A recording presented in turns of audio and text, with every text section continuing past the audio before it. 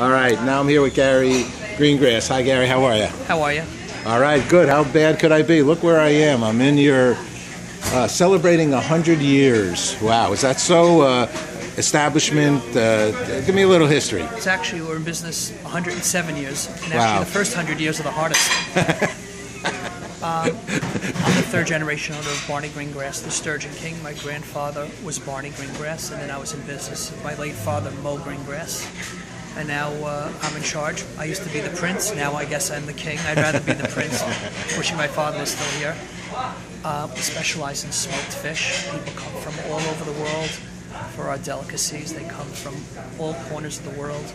Um, we do a mail order business within the United States. We have following of people all over the United States, and obviously we don't ship outside the United States. We have people come from Spain, Europe, France, Europe. I guess France is part of Europe. Last time I did check. England, Belgium, Brazil. Even though Brazil isn't part of Europe, um, they come from all over, and we've always had a great following of, of people.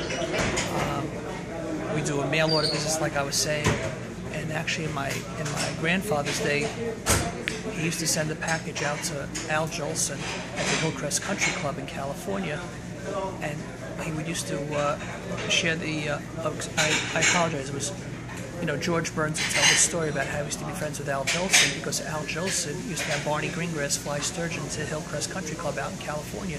He used to befriend them, and he used to share the sturgeon with them. So he used to say, I started to like the sturgeon better than I did Jolson. Well, you know, this is a institution by far. How does it feel to maintain a family's uh, uh, heritage? Let's say. I mean, it's it's something special. It's unique.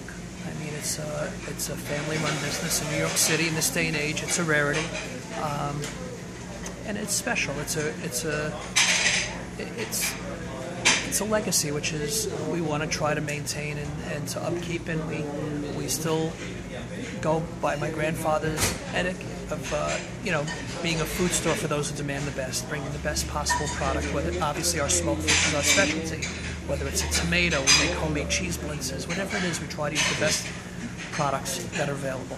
Yeah, I should have. Uh, now I'm hungry already. Well, just looking around here. So, you have you? Has this been your original location, 86th, 87th Amsterdam Avenue, New York City? This this location's been here since 1929. It's the new location. Before that, I was up in Harlem on 113th and St. Nicholas Avenue. Uh huh. Okay. All righty. So uh, I see you have uh, some, some T-shirts. You know, I, I have my buddies in San Francisco. I have people all over the place that have been uh, ordering. When they come into town, they're here, Yep. and we meet here and uh, uh, get some lox and eggs and uh, so on and so forth. It just doesn't quit. I see you got some mini uh, babka over here too. Huh? Mini babka, mini black and white cookies. They're great. Do we? Uh, and actually, the T-shirts require no refrigeration in case you want to. Now tell me, can people go to a website and, and find some of these things and then Sure. order it there Yes, as well? they can go to barneygreengrass.com. Um, otherwise, they can just give us a call here at the store. Our number is 212-724-4707. Or as they say in the old days, Schuyler 4707. For those of you old enough to know, Schuyler is spelled S-C. There you go. All righty. I don't know that, and I'm on the Upper West Side 30 years. Uh, let me ask you two last questions, and thank you very much. I appreciate it. You're, uh, you're, you're well known. You do good charitable work. You just look at the front window and you see how many awards you've gotten. Uh, you're here for the community.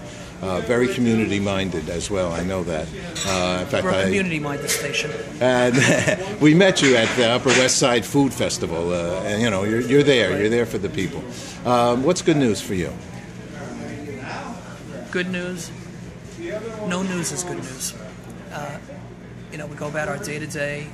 We want to have, you know, a peaceful home, a peaceful community, a peaceful world, and uh, you know, when people come here, people are happy. In other words, what's special about our place here is that it binds a generation. You can get a, a, a an eight-year-old child, you can get a teenager, a, a college graduate, a college student, a, young adult in his 30s, 40s, an older person, middle-aged, senior. They're all comfortable under the same roof. And it's something about this food that binds the generations together. It just brings them together. And when people come here, they're happy. Ah, it's beautifully stated. And talking about peace, since we're so involved with world peace or achieving world peace, what is peace for you? Peace is a piece of whitefish. Just a piece of whitefish. That's what's peace to me. It's a pleasant thought. Uh, Thank you. No, Thank bo- you. no bones about it. Thanks so much. Thank you. Thank you.